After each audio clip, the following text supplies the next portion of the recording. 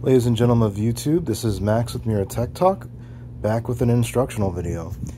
Today I'm recording on my Galaxy Note 20 Ultra, and I wanted to go over just a quick feature. This is going to be a very short video. And maybe next time I'll turn my notifications off.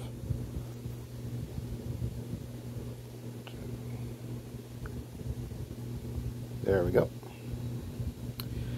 Okay, so today I wanted to go over how we can convert written text into typed text. So I'm going to write, hello, how are you?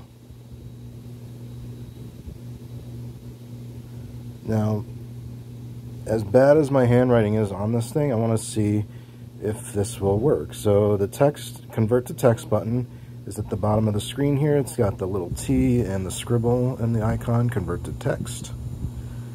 And it got it. So I click on convert here, and it changes it into type typed text, or into regular text.